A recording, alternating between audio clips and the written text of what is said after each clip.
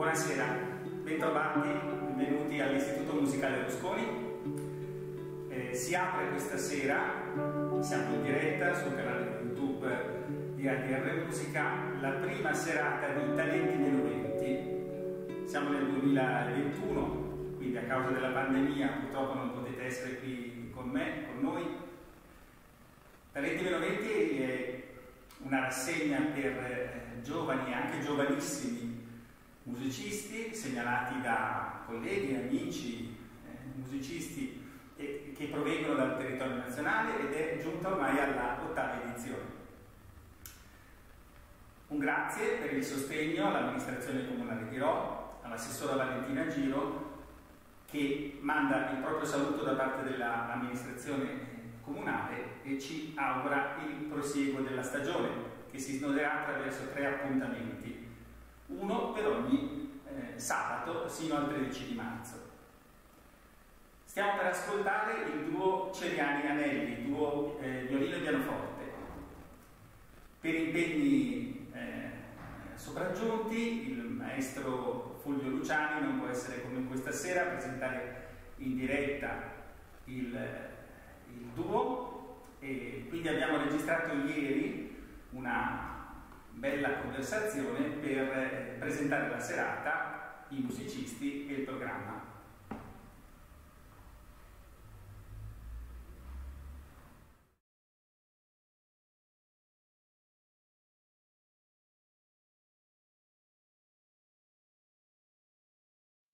Caro Fulvio, buongiorno. Buongiorno. buongiorno.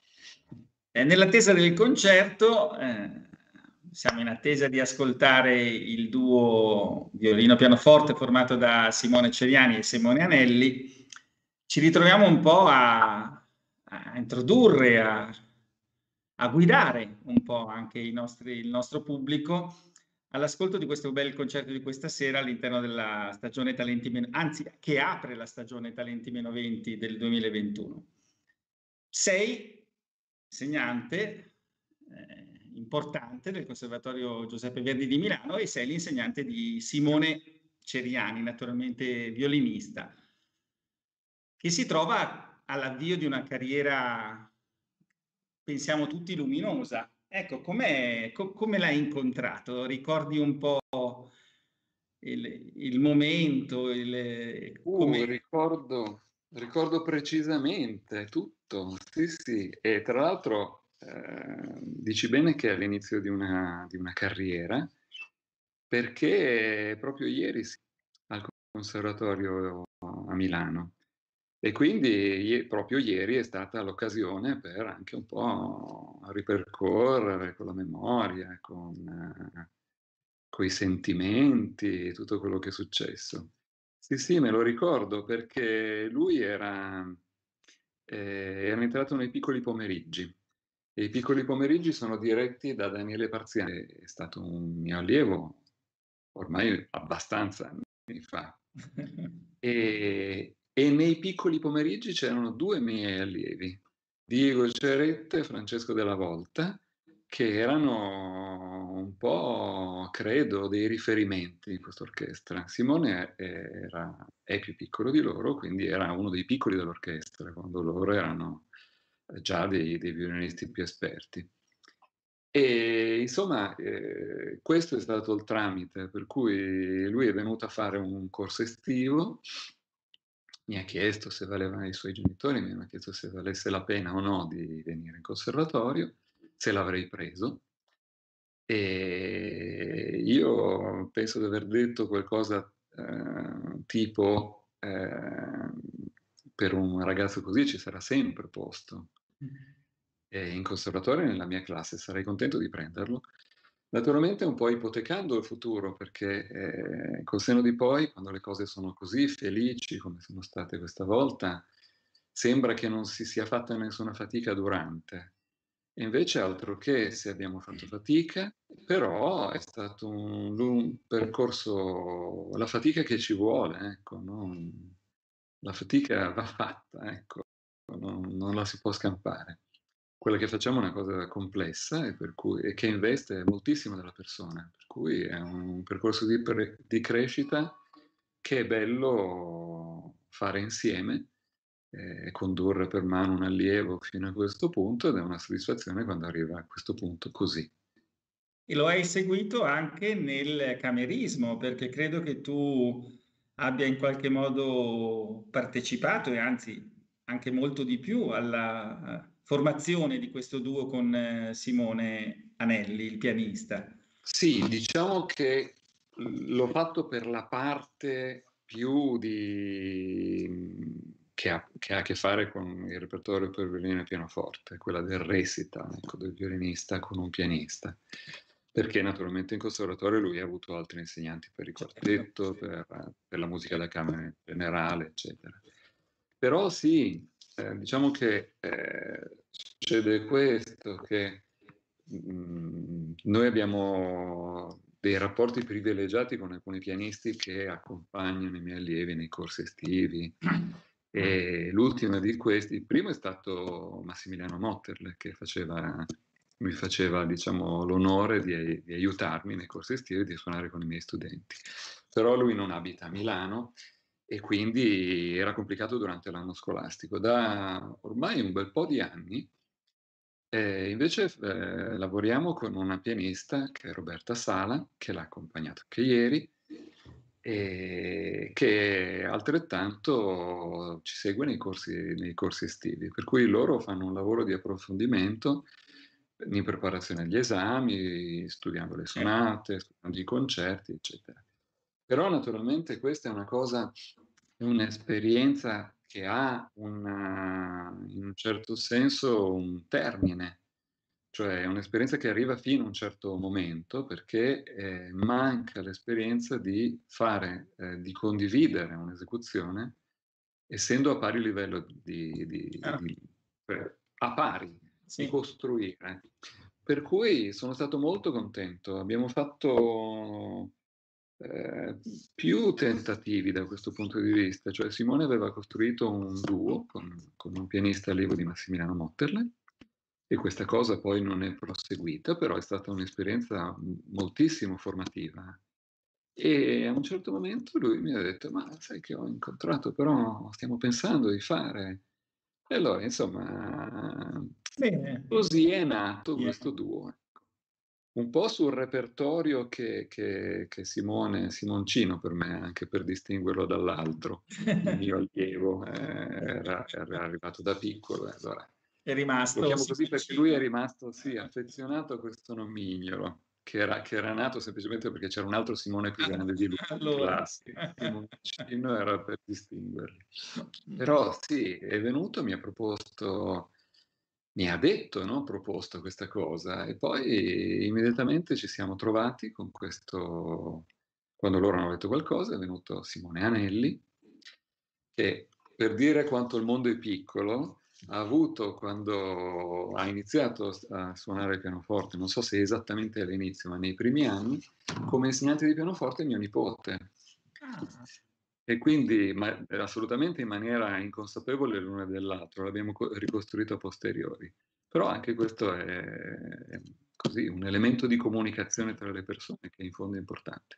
Loro hanno studiato molto seriamente, molto velocemente, devo dire, con molta affinità tra loro e mi hanno fatto sentire le cose. Non, non posso dire ecco, che abbiano studiato con me, perché mm. io penso che i ragazzi quando sono bravi, e loro sono molto bravi, eh, lo siano per loro merito.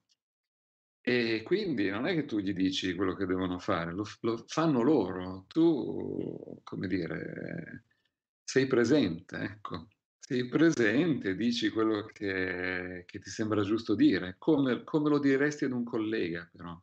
Ecco, devo dire che loro hanno preparato questo, questo programma che fanno, che io il programma lo trovo bellissimo, bellissimo. con molta indipendenza e però, ecco, questa cosa di... mi riconosco completamente quello che fanno. E questo è forse il momento, un momento bello, ecco, per un insegnante, perché, eh, perché ti riconosci in quello che le persone che, che hai aiutato eh, fanno, in, indipendentemente dalle tue indicazioni, e ti riconosci in quello che fanno anche quando è diverso da quello che faresti tu. Certo. Hanno maturato, no? Queste persone che abbiamo seguito nel corso di, di tanti certo. anni hanno maturato qualcosa che è autentica, che tu vivi come autentica in effetti e, e che senti eh, certamente anche autonoma, anche originale, anche creativa, eh. interpretativa, certo.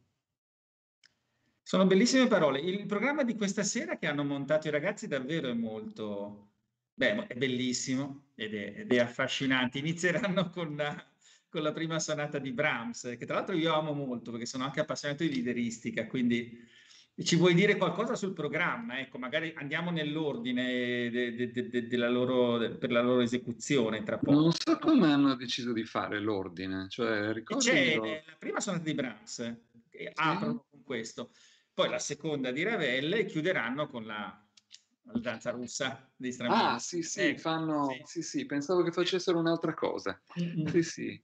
Eh, no, no, eh, ma sarà una sorpresa, è... penso. L'altra cosa sarà una sorpresa di cui ci parleranno gli interpreti alla fine. Sarà un certo. piccolo cadeau finale. Eh? Sì, sì. Io lì non, non so. eh, no, beh, immaginavo che facessero una, un altro pezzo all'inizio, ma sbaglio io, perché invece sì, con la, con la memoria, la memoria piano sbaglia.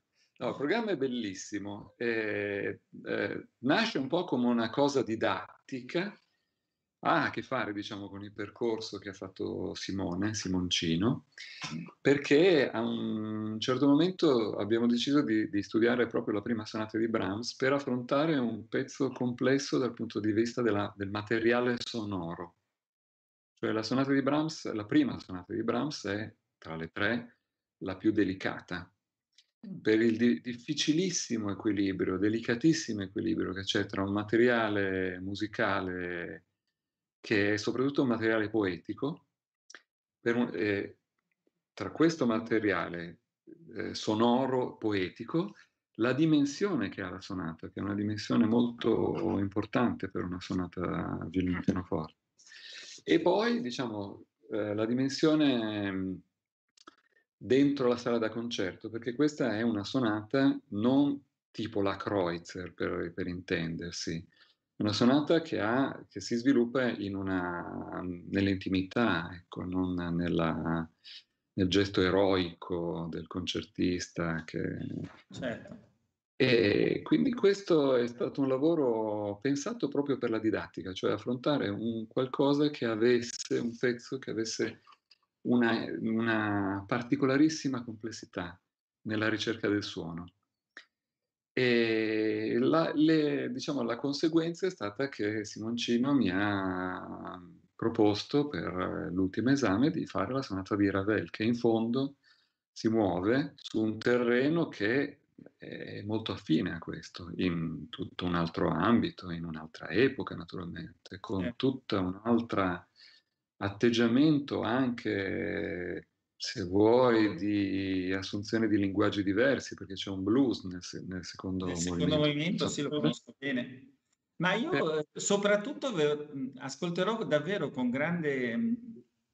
Eh, ho una grande aspettativa per vedere come risolveranno un po' la posizione provocatoria di Ravel, no? sull'incompatibilità fra il violino e il pianoforte, no? che lui eh, asseriva essere assolutamente inconciliabile, ma conciliabile poi con un, un, certo tipo di linguaggio e una certa scrittura.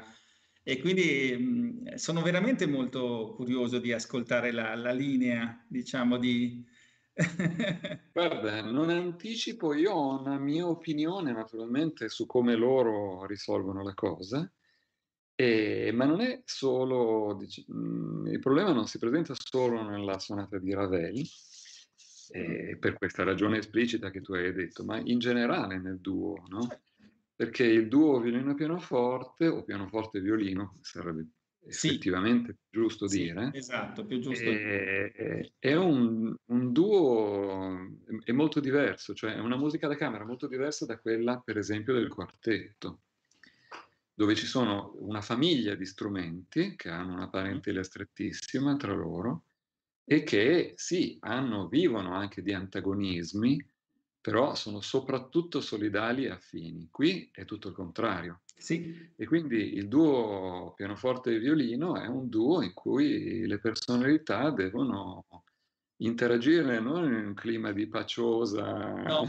collaborazione, sì, ah, invece in un clima eh, sì. di, di, così, di, di, reattività uno all'altro. Sì, è proprio questa lì, sì, l'impressione che mi dà appunto eh, in particolare questa sonata, proprio perché c'è questo esplicito, questa esplicita no, memoria delle parole di, di Ravel, ma eh, probabilmente hai ragione anche su gran parte del repertorio per pianoforte e violino.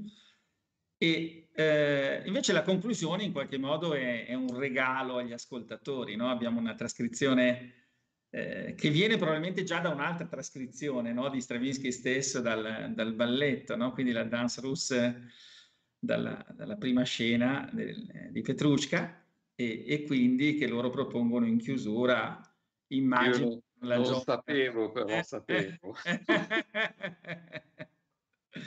con la gioia di, di, di, proporla. Bene, io no, davvero ti ringrazio eh, di queste eh, bellissime e molto importanti anche, non solo interessanti, molto importanti parole sul rapporto che hai con, eh, naturalmente con questo, questo musicista, con, con Simoncino e anche con questo, con questo duo in generale da insegnante, da, da veramente da persona molto, molto, molto attenta a questa, questa nostra vita, insomma, di, di insegnanti, di, di relazione, di, di, di, affetto in quel senso, no? di un affetto molto molto speciale che, che, nasce da un rapporto lungo con i nostri allievi e, e così, così alto, così importante verso l'arte, verso la bellezza. Bene. Abbiamo la stessa passione, quindi abbiamo tante cose da dirci. No? Sì, sì, dovremmo adesso, sì, ci stanno aspettando, saranno anche abbastanza un po', ecco, dobbiamo dar loro la parola, il suono e la voce sul palco. Ti ringrazio ancora, davvero grazie, grazie. Fulvio, grazie maestro Fulvio Luciani. A presto, ciao. A presto, grazie, grazie. Torniamo in diretta dalla Sala delle Colonne di Casamagnani, la sede dell'Istituto Musicale Rosconi, ringraziando del bel contributo il maestro Fulvio Luciani. E sta per iniziare il concerto del duo eh, Celiani Anelli, che verrà preceduto, il programma depositato, che verrà preceduto dal notturno adriatico di Mario Castelnuovo Tedesco. E quindi a tutti voi buon ascolto.